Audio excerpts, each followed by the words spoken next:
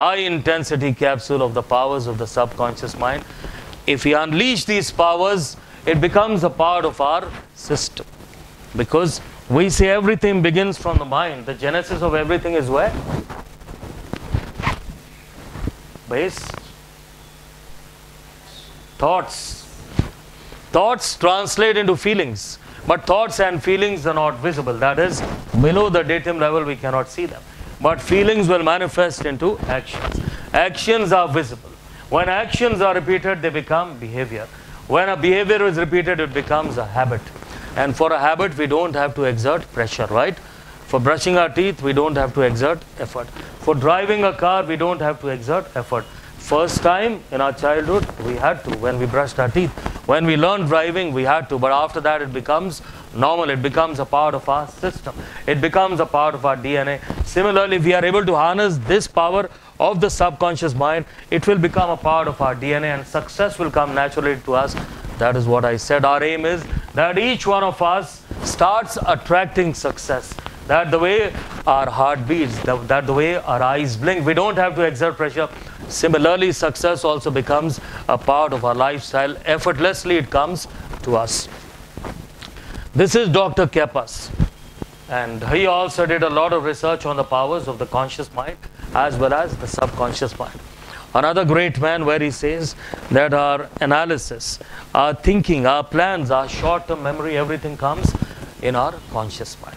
But if you look at what we call as our intuitions, our spiritual connections, when we are on autopilot mode, it, when it comes to our long-term memories, that is all a part of our subconscious.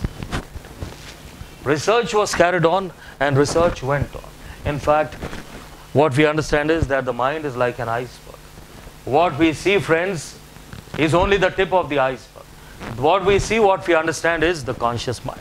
But what is there below is around nine times. That is the subconscious mind. That is below the datum level. A lot of research was carried on. And then came another great man, Dr. Maxwell Maltz. I will share his findings with you also. The interesting part, friends, is that Dr. Maltz was a plastic surgeon. Right? He was a plastic surgeon. He used to carry out plastic surgeries. People used to come to him with deformities. That my face is deformed. My ears are deformed or I've got obesity. Can kindly cure. I should look better. And he used to carry out plastic surgeries. When he was carrying out plastic surgeries, he realized, he says, that I realized that people change. Not only does their physical self change, but their mental self also changes. Their approach to life also changes. Their success ratio changes. Their stamp on life also changes. So he felt very good about it. And he published a paper. And in that paper, what he said is that when I cure people of their physical defects, when I rectify their physical deformities through my plastic surgeries, actually not only their physical self, but their mental self is also becoming better. But we all know that there are critics, there are cynics in this world. Cynics are plenty.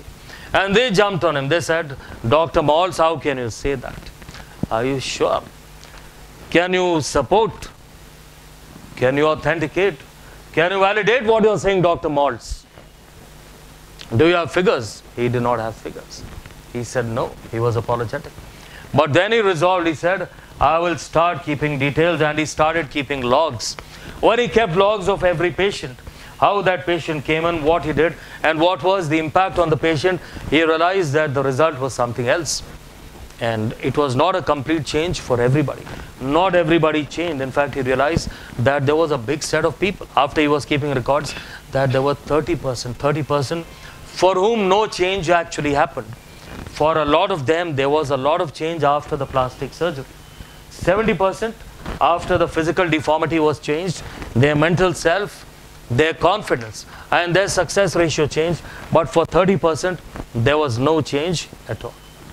He started studying those 30% because he realized that he actually had been proven wrong by those 30%.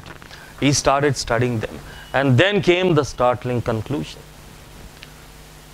Those 30% were the people who had come to him and said, that Dr. Maltz, I've come here because my father has sent me in for this plastic surgery. You know, I know nothing is going to happen with this. today you're going to remove this obesity from my midriff, from my belly. But tomorrow it's going to come back. So it's not going to make any difference. But nevertheless, my father wants it, so please do it. Somebody who had come to him, deformity after an accident, please set my nose right. But I know that you actually cannot set it right because people will ultimately realize that it is deformed. There still is a scar which is visible. So I know, Dr. Maltz, that your plastic surgery has got limitations, but nevertheless, you can carry it out. So this was common in all the 30%. The commonality was that before the surgery they had expressed doubts. They were cynical whether things will change after the surgery or no, or things will come back to where they are before the surgery. And for those people who had doubts that things will not change, things actually did not change. And for the ones who came to him, that Dr. Maltz, I've been having a tough time. You know, there was some problem with my hormones and I put on weight. But sir, if you set me right, believe me, I'm going to answer life straight on, face on and full on. Or somebody said, it was a misfortune I had an accident. But I know, sir, that with your knife, with your scalpel, you can wield magic. Please wield the magic on me, and life is going to come back full speed. Please do it. And the ones who said this, life actually changed for them. And then came the revelation by Dr. Maltz that yes, the people, those who thought that things will change, for them, for them things actually changed. For the ones who had decided beforehand, before the surgery, things will not change, things actually did not change. Then he published his hypothesis, which also has become a world bestseller, where he says that yes, it is the power of the mind.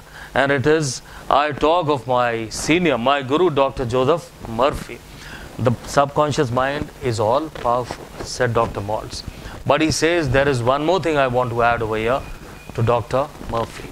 That this subconscious mind, which wields around 88% of our mental powers, is like a block, is like a machine to whom we can give direction.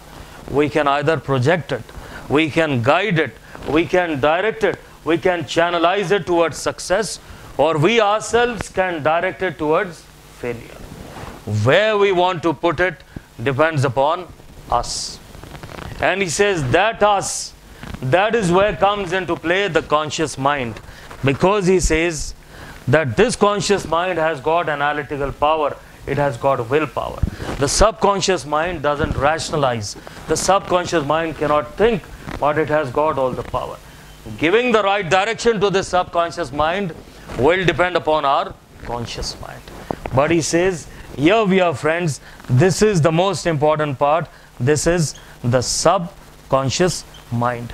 It depends upon us whether we can take it towards success or whether we can put it towards failure.